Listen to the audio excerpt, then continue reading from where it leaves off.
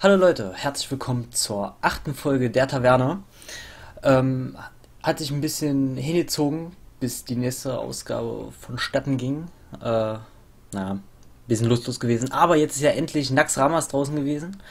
Äh, die erste Woche ist vorbei und äh, um diese Revue passieren zu lassen, habe ich mir einen kompetenten Gast dazu geholt, den Andreas aka Xanti, der dank mangels Webcam äh, sich mit dem Bild von Mr. Bigglesworth zufrieden geben muss.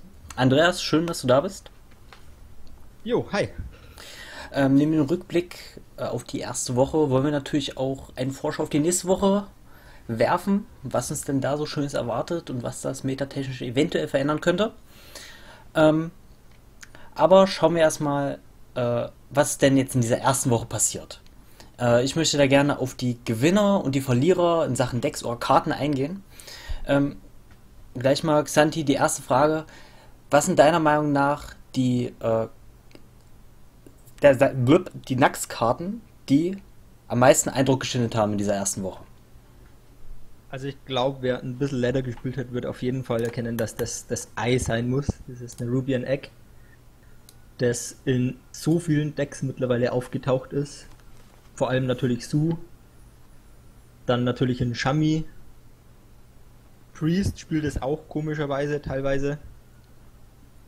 Aha. Ja, spielen auf jeden Fall sehr viele. Meine, okay, mein, das äh, wurde ja schon vor Wochen festgestellt bei dieser Karte, äh, als das erste Mal announced wurde. 0-2, äh, nicht so berauschend, aber dann der Todesrecheneffekt, rufen für Vierer dabei ist natürlich enorm stark.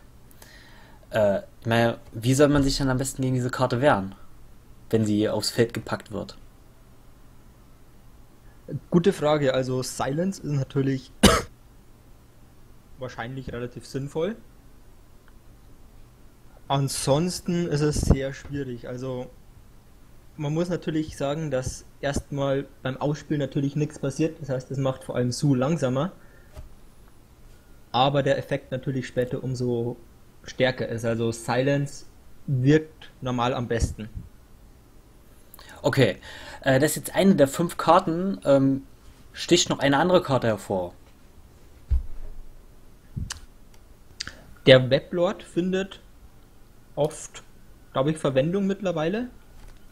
Vor allem in, in, ähm, in Miracle Ansonsten wahrscheinlich eher nicht so. Also der Rest wird kaum gespielt. Also Maxner wird gar nicht gespielt oder zumindest extrem selten. Haunted Creeper. Haunted Creeper wird auch noch in, in Token Decks vor allem gespielt. Also ja. Ja, das, äh, den Haunted Creeper, den sehe ich ja ähm, häufig in den Druiden Token Decks. Ähm, Gerade erst mal bei Colento im Stream vorbeigeschaut. Äh, der hat gesagt, äh, diese Karte gewinnt ihm wirklich äh, teilweise Spiele dank den äh, Tokens, die dadurch aufs Feld gebracht werden. Also äh, meiner Meinung nach Must-Have für alle Varianten von Token-Decks. Oder was sagst du?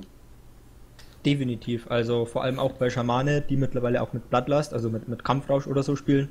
Ähm, Token-Deck sehr gut. Ich meine, es ist ein 1-2 für 2 Mana. Beim Tod kommen zwei 1-1 dazu. Das ist quasi ein, ein 3-4 für zwei Mana. Das ist natürlich extrem stark. Äh, ich habe im Forum eine kleine Diskussion gesehen. Äh, kann man den Haunted Creeper mit dem Erntegolem vergleichen? Ne? Der Erntegolem ist ja 3 Mana, 2-3 und ruft einen 2-1er äh, aufs Feld. Ähm, wenn du die Wahl hättest, welche der beiden Karten wirst du ins Deck packen? Ich glaube, sie sind nicht wirklich vergleichbar, weil was so Token-Decks bisher gefehlt hat, ist ein Boodrop mit der Tokens im Endeffekt spawnt. Da gibt es eigentlich nichts. Und Harvest Golem ist stärker, meiner, meiner Meinung nach, einfach wegen den 3 HP schon. Aber ja, es ist durchaus vergleichbar. Okay. Und dann bleiben natürlich noch die beiden Klassenkarten, die äh, damit eingeführt wurden. Poison Seeds für, vom Druiden und äh, der Anub A. Ambusher vom Schurken. Äh, Glaubst du nicht, dass diese beiden Karten irgendwie Verwendung finden könnten? Oder sind also sie noch Ambusche, zu früh dran?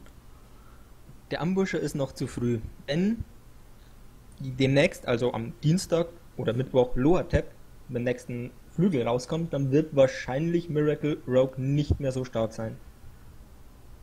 Und dann werden sich die Schurken auf andere Decks fokussieren müssen. Tempo-Schurken zum Beispiel. Und- also meiner Meinung nach ist das eigentlich eine super Karte für ein Tempo-Rogue-Deck. Genau, sehe ich genauso. Weil ich meine, okay, in der Regel äh, hast du nicht so viele Kreaturen äh, auf dem Feld und wenn, dann tut es auch nicht so weh beim Schurken, wenn da mal eine Kreatur wieder hochge hochgezogen wird, ne? Oder er wird es vielleicht sogar, wenn es äh, vielleicht ein SI7 Agent ist oder ein Azure Drake, weil bei solchen Karten, na, wenn man die nochmal nutzen kann, dann kann man da schön Value draus ziehen. Richtig. Ich glaube, dass diese Karte definitiv Verwendung finden wird. In Zukunft. Weil, ja, ein 5-5 für 4 Mana ist recht ordentlich. Ich meine, das ist wie, wie eine 5-Mana-Karte im Endeffekt. Also warum nicht? Okay, und äh, Poison Seeds. Ähm, wollte ich sagen, gleiches äh, Argument ist noch zu früh. Ähm, mit Max Ähm. Ramas werden ja äh, ein Haufen Todesröcheln-Karten noch eingeführt, die eventuell in Silence bedürfen.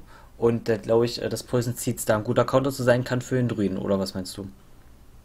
Also da unterscheidet sich meine Meinung im Moment von der allgemeinen Meinung der Wing Pro-Spieler. Die allgemeine Stimmung zu Poison Seeds ist, dass diese Karte nicht gut ist. Ähm, ich meiner Meinung nach bin da anderer Meinung, also ich spiele sie in aktuellen in meinem Druiden-Deck. Ähm, es ist ein Midrange-Deck und ich finde, da passt sie relativ gut rein. Also in einem reinen Ramp-Druiden-Deck, der nur große Sachen hat, ist es schwierig, Poison Seeds zu spielen. In einem Midrange-Deck ist es durchaus möglich. Es bietet genau den letzten Removal, den man braucht im Endeffekt. Okay, interessant. Ähm, also, äh, würdest du äh, die Karte auch äh, bei Turnieren spielen oder dergleichen, um eventuell die ganzen äh, Poison Seeds Hater anders zu stimmen, oder was? Ich würde sie auf einem Turnier spielen. Also der Punkt ist im Moment ist Su relativ populär und gegen äh, Moment, nee, ich muss anders anfangen. Ähm, ich spiele, weil Su relativ populär ist, ein Kodo in meinem Midrange Deck und Poison Seeds synergiert sehr sehr gut mit Kodo, weil man spawnt einen 2-2er oder mehrere 2-2er und frisst halt eins davon. Es ist eine riesige Tempokarte im Endeffekt, weil ein Druide kann im Moment nichts gegen Karten wie Isera machen. Ich meine, soll man Isera töten, 12 Damage, kann man sich nicht leisten. Zumindest stimmt. nicht als Midrange. Und Isera ist eine neue Mana-Karte, wenn man eben Poison Seed spielt und ein Kodo anschließend, ist man damit durch. Es lohnt sich auch gegen, weiß was ich, ähm, Sude, äh, gegen, nicht Sudex, gegen Handlock, alles was irgendwie große Viecher spawnt. Das ist, dafür ist es relativ gut, aber es ist nicht leicht zu spielen. Und im gleichen, Also mir At- gefällt die Karte sehr gut. ah, und im gleichen Atemzug, Atemzug hast du wahrscheinlich auch äh, Sternring im Deck, wa? Nee, ich hab's probiert. Starfall ist mir zu langsam. Also ich spiele Poison Seeds in Kombination mit Kodo, mit Keeper of the Grove, weil es macht zwei Damage auf irgendwas. Mhm. Ähm, und mit zwei Force of Nature hat man auch auf 10 Mana im Board im Endeffekt. Selbst wenn drei Viecher auf dem Board sind, kann das komplette Board eigentlich mit 10 Mana immer abräumen. Zusätzlich natürlich noch mit Talnos und Swipe ist auch ein Board Clear bei 10 Mana. Also es gibt genug Kombinationsmöglichkeiten für Poison Seeds in der Midrange Deck. Okay, ähm, dann äh, stellt sich mich, mir eigentlich, eigentlich nur eine Frage äh, noch zu den ersten sechs Karten und zwar zu Meixner. Du hast ja eigentlich schon gesagt, Meixner ist deiner Ansicht nach zu schlecht. Warum? Ja, würde ich auch so sagen. Also es wird in Hunter Decks hin und wieder gespielt, aber es ist halt einfach irgendwie, fühlt sich nicht gut an. Ein 2-8 für 6 Mana fühlt sich nicht gut an. Ja, aber der, äh, der Effekt ist doch, äh, ist doch geil. Es ist halt eine geboostete Cobra, ne? Ja, genau, aber aus dem gleichen Grund, ich meine, man spielt auch keine Cobra eigentlich in Constructed Decks, weil es viel zu anfällig gegen bestimmte Dinge ist. Also Ja, gut, bei der Cobra ist es ja so, dass die Cobra nur 3 HP hat und deswegen äh, auch schnell von leichtem Removal vom Feld gejagt wird. Aber Meixner hat ja nur 8 HP, ne? Ja, ist richtig. Dennoch ist es sehr Silence-anfällig. Also ich weiß nicht, ähm, ich habe sie selber noch nicht probiert. Ähm, ich sehe sie aber auch im Moment kaum. Also es ist schwer zu sagen. Wenn ich sie spielen würde, würde ich sie, glaube ich, in einem Hunter-Deck spielen. Weil es ein Beast ist. Okay, wird ja auch in einem Hunter-Deck gespielt. Es gibt ja eins, das derweil die Runde macht. Ähm, dann äh, mal bisschen, äh, bisschen Übergang von den, von den Karten zu den Decks, in denen sie gespielt werden. Äh, gibt es mittlerweile durch diese ersten sechs Karten schon sowas wie Gewinner oder Verlierer, Verlierer die durch die neuen Karten ähm, irgendwie besser sind als andere oder äh, gerade durch die neuen Karten ein bisschen in den Hintergrund gerückt sind? Also ich glaube, einer der ganz großen Gewinner ist wahrscheinlich ähm, Schamane. Weil Haunted Creeper und Ei sind sehr, sehr, sehr gut in Schamane. Andere Leute würden jetzt sagen, Gewinner ist auch Su. Ich bin mir dann noch nicht hundertprozentig sicher, ob Su wirklich so ein starker Gewinner ist. Aber das wird sich zeigen. Ich glaube, bei, also Su, ich mein, äh, bei Su ist es einfach nur eine Ergänzung. Es gibt so viele Varianten beim Su, wie man ihn spielen kann. Und es ist halt einfach, ist, ist halt ein anderer Su. Na, einfach nur eine zusätzliche Variante von dem Deck. Genau. Also im Moment wird vor allem der Su mit Eier und, und Void Terror gespielt. Es ist natürlich schon stark, also. Aber andererseits ist es auch wieder sehr. Man braucht die richtigen Draws, weil wenn man das Ei später zieht, naja, dann zieht man später. Das ist nicht so das wirklich, was man will. Ja, das ist richtig. Okay. Äh, du hast den Schaman angesprochen, genau. Auf den Schamanen bin ich schon jetzt ein paar Mal getroffen. Äh, die sind mir ziemlich auf den Senkel gegangen mit ihren Eiern und Haunted Creepern und Flametank Totems etc. pp. Und ich habe so überlegt, was soll ich denn gegen diese Schamanen spielen? Was mach, äh, was kontert die? Ähm, ich denke, Su kontert einen Schamanen sehr, sehr gut. So konnte der auch irgendwie alles. Also. ja. Äh, Midrange Druid ist okay gegen Schamane. Miracle Rogue. Miracle Rogue ist sehr stark gegen Schamane, aber das wird sich halt jetzt dann auch ändern nächste, äh, nächste, nächste Woche. Genau, und zwar taucht nächste Woche Lore-Tab auf. Und neben den genau. anderen Karten, ähm, wo wir uns noch nicht sicher sind, welche das sein werden. Mhm. Lore-Tab 5 Mana 5-5 und äh, erhöht die Kampfschreikosten.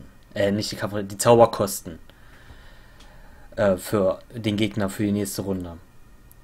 Warum ist diese, warum wird diese Karte Rogue zerstören? Und ähm, wird diese eine Runde oder wird diese eine Karte dafür sorgen, dass Rogue oder das Miracle Rogue größtenteils verschwindet?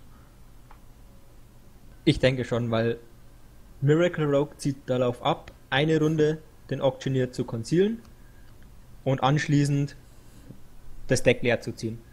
Und das kann relativ gut verhindert werden. Okay, also äh, bedeutet das eigentlich im Prinzip, sobald Lore-Tab auf dem Markt ist, ähm, packe ich äh, in jedes Deck ein Lore-Tab rein. Was ich so spiele im, äh, im Ranked. Ich denke vorerst schon, ja. Gut. Und es ist natürlich, ich muss zu Lore-Tab sagen, es ist eine reine Metagame-Karte im Endeffekt. Es ist genauso wie Black Knight oder Harrison. Es hängt stark davon ab, was aktuell gespielt wird. Ich glaube, dass das die Hauptsache ist. Ähm, kann er aber ähm, mal vom Schurken abgesehen, äh, was wird er noch kontern? Su ja wahrscheinlich nicht, weil Su hat nur zwei Spells in seinem Deck oder vielleicht mal äh, ein Mortal Coil. Ähm, aber sonst gibt es ja auch Decks, die mehrere Spells verwenden. Die, die zwar nicht so hundertprozentig auf ähm, dieses Miracle ab sind, wie jetzt ein Schurken, aber doch auch mehrere Spells verwenden ähm, Schamanen, Druiden haben ja, haben ja einiges drin. Oder ein Control Warrior, der hat ja auch relativ viele Spells in seinem Deck. Kann er da auch den Unterschied machen?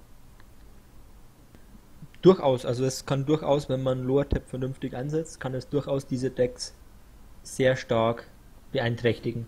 Ähm, es ist auf jeden Fall auch ein definitiver Hard-Counter zu Freeze Mage. Und zwar hundertprozentig. Das, äh, das stimmt auf jeden Fall. Du kannst ja eigentlich, äh, du kannst ihn ja auf der Hand behalten und wenn er, äh, wenn es so aussieht, dass der Freeze Mage die nächste Runde töten möchte, klatsch. Genau. Da ist er. Und das Beste an Lord Tab, äh, meiner Meinung nach, ist nach seinem Effekt noch, dass es ein 5er Drop ist. Und das ist halt äh, ein schöner weiterer Fünfer-Drop für diesen Slot ist, der ja eigentlich äh, nur vom Azure Drake und in manchen Fällen vom Kodo besetzt wird. Richtig. Äh, noch eine schöne äh, Ergänzung für viele Decks, nicht nur was den Effekt angeht, äh, sondern auch den Mana-Kosten. Äh, kann man sich also auf die nächste äh, Woche freuen. Miracle Rogues werden verschwinden, Zuloks müssen noch auf ihre äh, Hard Counter warten. Ähm, den ich eigentlich schon mit dem äh, Nerupa Weblord gesehen habe. Ähm, ich habe eigentlich gedacht, dass äh, dadurch, dass diese Karte eingeführt wird, der Zulok ein bisschen äh, zurückgedrängt wird. Aber das passiert ja noch nicht. Ich glaube, die Leute trauen sich einfach nicht, ihn zu spielen. Weil er zu schlechte Werte hat. Ja, ist schwierig. Vor allem, er wird genau durch diesen Zug 1 Flame Imp gekontert und das ist ein Problem. Kleines Problem. Ja, aber wenn er nicht kommt und man ihn spielen kann, dann ist eigentlich. Und der Zulok dann noch keinen Soulfire auf der Hand hat, ist eigentlich schon GG. Ich meine, ich habe es getestet in Decks äh, mit dem Weblord und wenn du ihn rauskriegst, bevor der äh, Log ein 3-2 auf dem Feld hat, ist es gelaufen. Ja, dann ist es Game. Definitiv. Okay. Ähm, gut, müssen wir abwarten, was die nächste Woche bringt. Was die Woche gebracht hat, haben wir ja bereits gesehen. Noch nicht die harten äh, Veränderungen im Meta, die man sich erhofft hat, waren aber auch erst sechs Karten, mit denen man erst noch ein bisschen experimentieren muss. Nächste Woche kommen weitere dazu und es sind noch, noch ein paar Wochen Nacks, die uns erwarten. Ähm, genau. Gut, das war äh, der erste Wochenrückblick. Nächste Woche möchte ich einen weiteren Rückblick machen auf die zweite Woche. Äh, da wird man dann sehen, ob der Miracle Rogue so hart getroffen wurde, wie wir es vermuten, ob er verschwunden sein wird, zumindest teilweise, und ob der Schurke sich andere Decks aussuchen muss, die er spielen will. Zum Beispiel Tempo Rogue mit dem Anub A. Ambusher. Ja, man wird es sehen. Alles klar. Äh, das war's dann zur achten Folge der Taverne. Äh, vielen Dank, Andreas, für deine kompetenten Kommentare äh, in, dieser, in dieser Woche, in dieser Folge. Jo, gern dabei gewesen. Gut, ähm, danke Leute, dass ihr eingestellt habt. Wir sehen uns das nächste Mal wieder zum zweiten Wochenrückblick hier in, Ta in der Taverne über Nax Ramas. Auf Wiedersehen. Bis dann.